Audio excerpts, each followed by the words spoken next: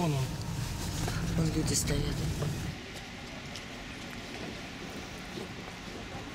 Утро 2 января патрульная служба выехала к дому номер 19 по бульвару Гусева.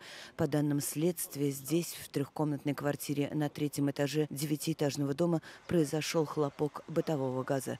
Московским межрайонным следственным отделом города Твери регионального следственного комитета по факту травмирования двух человек возбуждено уголовное дело по признакам состава преступления, предусмотренного пунктом В части 2 статьи 238 Уголовного кодекса оказания услуг, не отвечающих требованиям безопасности жизни и здоровья потребителей. По данным следствия, 2 января в квартире, расположенной на третьем этаже дома номер 19 по бульвару Гусева города Твери, произошел хлопок бытового газа, в результате которого два человека доставлены в больницу.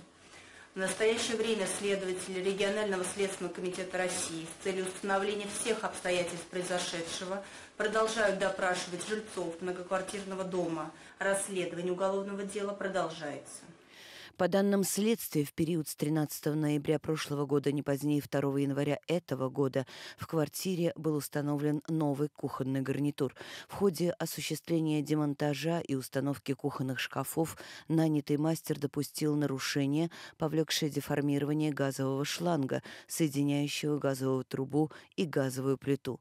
Утром 2 января в результате утечки газа здесь произошел хлопок. Женщина, которая тем утром встречала мужа с ночного дежурства, дежурства и собиралась сделать завтрак, получила ожоги не менее 70% поверхности тела.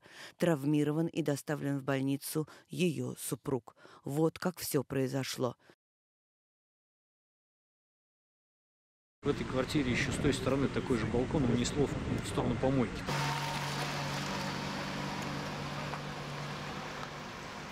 С другой стороны дома, куда выходило окно этой квартиры, мы увидели раму, улетевшую от лоджии. На месте самой лоджии работали специалисты электросетей.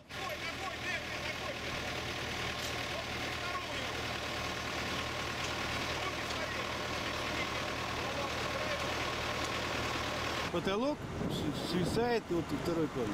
В подъезде, в подъезде все подъезд нормально? ненормально. Нет? В подъезде лифт.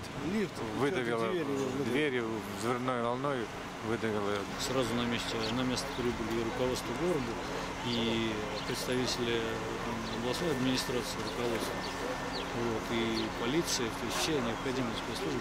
Напротив 48-я школа. Именно в школе разместили эвакуированных жильцов подъезда. Сразу школу открыли, Ага. э, там а, было, были предложены горячий чай, но люди там Ага. согревались, потому что вышли кто в чем. Одни из первых на улицу выбежали жильцы трехкомнатной квартиры на втором этаже. В этой квартире, расположенной под той, где произошел хлопок, на момент ЧП находились три человека и домашние животные – два кота и собака. Я спал, меня тряхануло, я глаза открыл, у меня в глазах был песок или что-то такое с потолка. Слышал, как брат с женой там, ну, разговаривают.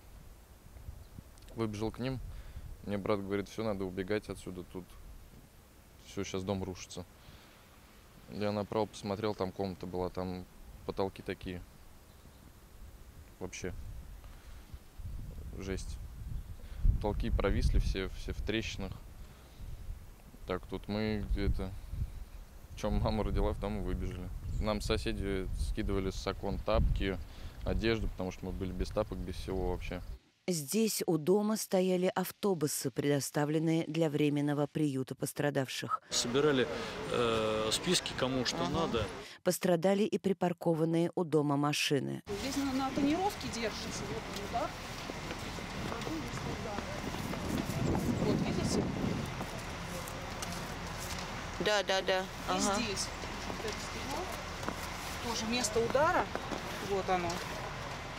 Тоже держится все на пленке. Метров 15-20, а вот эта машина в дырке все. Вот это. Прямо практически к дороге улетела рама. Утром 8 января от полученных травм пострадавшая женщина скончалась в больнице. Ее муж по-прежнему госпитализирован. Ему оказывается необходимая помощь. По возбужденному уголовному делу следователи продолжают устанавливать обстоятельства соблюдения необходимых норм и правил при эксплуатации газового оборудования. Проводится ряд судебных экспертиз, в том числе трассологическая, медицинские, взрывотехническая, пожарно-техническое. По поручению прокурора Тверской области Сергея Лежникова прокуратурой Московского района города Твери организована проверка исполнения законодательства, регулирующего эксплуатацию внутридомового и внутриквартирного газового оборудования. По результатам проверки будет дана оценка полноте исполнения обязанностей со стороны управляющей компании, обслуживающей организации, администрации Московского района города Твери и самих собственников квартиры. Жильцы эвакуированных квартир временно размещены в гостинице «Юность». У расселенного подъезда круглосуточно дежурят сотрудники полиции.